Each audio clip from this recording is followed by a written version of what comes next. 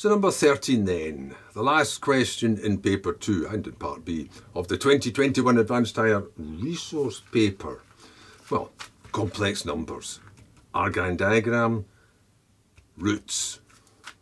So what does it say first of all? Just for the one mark. Express negative 1 in polar form, in the form cos theta plus i sine theta. Now the best way to do that is just draw a little, little quick Argand diagram. That's the real part, remember? That's the imaginary part. Where is negative 1? It's over here. So the two parts would be, how far away is it? Well, it's a 1, so that's not going to affect anything. What angle is it? Well, it's 180 degrees. But putting that in terms of radians, that's pi radians round.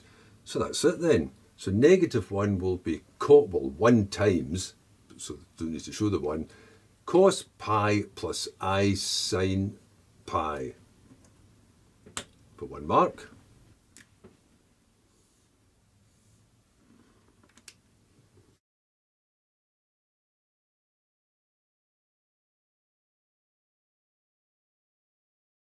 Right, part B, again for the one mark. Use de Moivre's theorem to show that Z1, this number here, is a root of this equation. And the rest of the question just seems to be along the line, roots of this equation. I mean, they could just have said, just solve that. Solve that equation, find the five roots, and that would be most of the question, rather than, it doesn't matter. First part, show it work. Well, that means if it's a root, if you were to substitute it in, this should work, it should come to zero. So just pop it into that. Cos pi upon 5. It's a bit tedious writing cos and then just keep repeating the same thing. Pi upon 5 to the power of 5 plus 1 equals 0. There's a shorthand for that which I might start using, instead of writing cos of the angle plus I sine of the same angle, you can use the abbreviation that just goes CIS of the angle. Don't know if you'd be allowed to do that in the exam though. But I might just do that here to save me writing cos of it plus I sine of it. Anyway, De Moivre's, if you've got a number in polar form, complex number in polar form, and you're multiplying numbers, what happens is you add, you multiply the modulus, the multiplying numbers at the front, but you add the angles, you add the arguments. So if you're multiplying this five times, you're adding that angle five times, which means it's just five times the angle. So effectively, whatever's outside the bracket as a power comes in and multiplies the angle. So this transforms into cos pi plus i sine pi plus 1. Now, in the first part, you just had that that was equal to negative 1. I think well, maybe I shouldn't put equals 0 and because I'm trying to I'm trying to discover if that will in fact come to zero. So I'll just put equals. So that can get replaced by negative 1. So that now equals 0, which means that Z1 is a root because it worked, because it gave the answer 0. But there's only one mark for doing all that.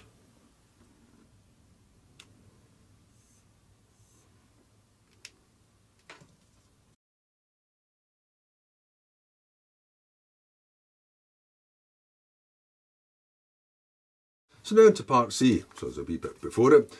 The complex number Z2 is also a root of this same equation. Root Z1 and Z, Z1 and Z2 have been plotted on this Argand diagram. Express Z2 in the form of cos theta plus i sine theta in polar form for one mark. And then you need to do the same again in part D for the remaining ones. So rather than asking you to, which looks like asking you just to solve that directly and get the various roots, you're meant to use the result that you know, which would be if you were to plot the results, the five roots that would result from this, they would be equally spaced around a circle. So if there's five roots, then each of them would be a one-fifth of a revolution apart. So Z2 should be the same as Z1. I'll just, I was going to put that shorthand, but I'll just put it down. Cos of, it would be pi upon 5, but plus a fifth of a revolution, which is 2 pi divided by 5, plus i sine, etc. I think I'll just do that. How about that? So spelling that out, that would be cos. So that means you've got 3 fifths altogether. So 3 pi upon 5 plus i sine 3 pi upon 5. Now, that's worth a mark.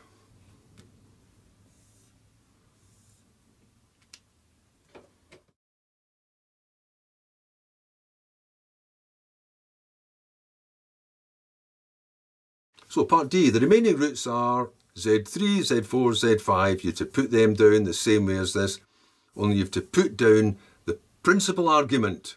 So that means the shortest way round to it. The argument, which is the angle in its smallest form. So this is just like solve that.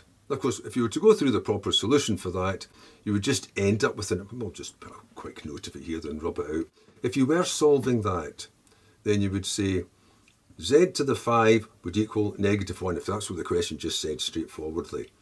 So z to the 5 is equal to this. So z to the 5 would be, and the negative 1, and that would be the point of this, would be cos pi plus i sine pi, which I'm just going to write as cis after that. So z is going to be that. I'm just going to put cis now. Oh, no, I'll have to do that.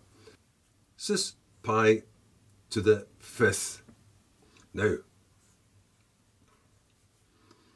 pi, which was round here. That'd be the same if it was just pi, or if it was pi plus another 2 pi, or another 4 pi, or another 6 pi. Pi is the same as pi with any number of 2 pi's added onto it. Now, normally you wouldn't bother doing that because it just keeps taking you back to the same place. But if you're going to do, using de Moivre's, a fifth of that, it means the various answers you get will be this pi plus k lots of 2 pi divided by 5. Then just go through the possibilities. So when k is 0, you'll have pi upon 5. There it was there. When k is 1, you'll have 3 pi upon 5. There it's there. When k is 2, you'll have 5 pi upon 5, etc. And that would just list them all. But the thing to notice is they're all the same distance apart. You keep adding on k times, you keep adding on 2 pi upon 5. They're all 2 pi upon 5 apart. So they would all lie in a circle, because they're all going to have the same modulus, the same size, which is just 1 in this case. They're all going to lie in a circle, equally spaced out by 2 pi upon 5, so it's 2 pi upon 5. The next one's there, and then down here, and then down there. Another thing you know is these roots appear in conjugate pairs. So if Z1's a root, then the one directly below it will also be a root. Same real part, opposite imaginary part. Same with this, that should be directly below it. So 1, 2, so that'll be 3, that'll be 4, and that'll be 5. So it's just a case of putting them all down. So what are they then? So Z3 is going to be that plus another 2 pi upon 5. So it'll be cos pi plus i sine pi. Because another two bits on top makes it 5, so that's fine. Z4 though, we're going to go overboard because this time it's going to be, now you add on another 2 to the top. Because remember there was 1 on top, then it's 3, now it's 5, now it's going to be 7. That would be 7 pi upon 5 plus i sine pi, which is no use because they want it the argument in its principal form. So that means, oops, what have I done there? So you'll have to go round the other way to get it, round to here. It just, it just means it'll be the opposite of Z2. So you had Z2. So that's going to be cos negative 3 pi upon 5.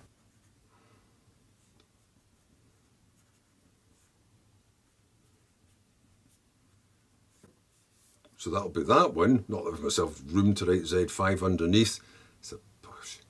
Bad planning up here. Just have to put it here. And Z5 will be, well, just using the same pattern as before, by adding on two bits to the top. Now you've gone up to 9 pi upon 5, which is no use. It is a correct argument, but it's not the principal argument. Which of course would be, it should be the same as this because that'll just be the conjugate complex number to that. So that's just going to be, or you can just think Instead of going 9 bits that way out of the 10, just go one back.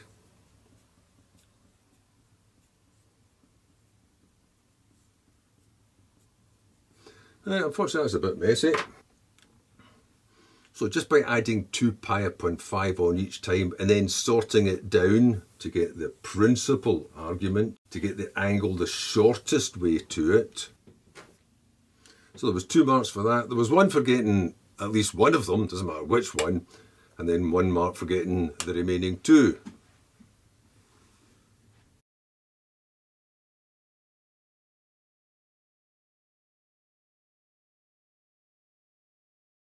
Then the last part, part E for two marks. Given that the sum of the roots must come to zero, which is another thing, just as well as knowing that they're equally spaced around a circle, you should also know that if you were just to remember, those are just coordinates, that if you were to add up all the coordinates, they must come to zero because the, center, the circle's centred at zero. And if you've got points equally spaced around a circle, then the average of their coordinates must be zero, must form that centre, must form zero. It's easy to see that in the case of the imaginary ones, because for every one above, this is the y coordinates, for every one above, there's another one below. They'll cancel out, they'll cancel out, and that one's on the axis anyway. Maybe not so obvious about why the ones across the way, the x's would all cancel out. But you can just think of it, if you've got a disc, and you put five weights equally spaced around that disc, where would it balance? It would balance at the centre, because all the x's and y's cancel out. But anyway, it's telling you that that's the case. It says if that's the case, show that you get this expression here. Well, that means you just put them all back in again. So you put the whole load of these back in. Now you could write them all out. The whole lot, cos plus i sine, cos plus i sine, cos plus i sine, cos plus i sine, and so on, until you've got them all written out. Or you could realise that the imaginary parts are going to come out to zero anyway, and just put the real parts down. So the real parts were, just put them back in order because I've got them there. So it started off with cos and it was pi upon 5. And then the next one was add another 2 on top, 3 pi upon 5. Now add another 1 on top, well that's just cos pi. Now add another 2 on top, but in fact it's just going to be this the other way around, so cos negative 3 pi upon 5. And then another one on top making 9, but you had that before, so that'll be the cos negative pi upon 5. That's what they add up to. That, those are the real parts. The real parts of this come to this. Now, so if that comes to 0, real part of that 0, that's equating the real parts. Is that worth a mark? It is worth a mark. Now you can start tidying that up because there are some things that you know. You know that that comes to negative 1 and you know that the cosine is symmetrical. It's an even function. It goes like this. So the cosine of an angle and the cosine of its negative angle is the same thing. So cos pi upon 5 is the same as cos negative pi upon 5. So that tells you you've got two lots of cos pi upon 5. Those two are the same. Two lots of cos 3 pi upon 5. And you know that that comes to negative 1. So that lot comes to 0, and there you are. So I'll take that one across, and I'll take the common factor of 2 across as well. I'm just left with, oh, I'll just put it down this way first of all. 2 lots of cos pi upon 5, and 2 lots of cos 3 pi upon 5 comes to 1. So cos pi upon 5 plus cos 3 pi upon 5 comes to 1 upon 2.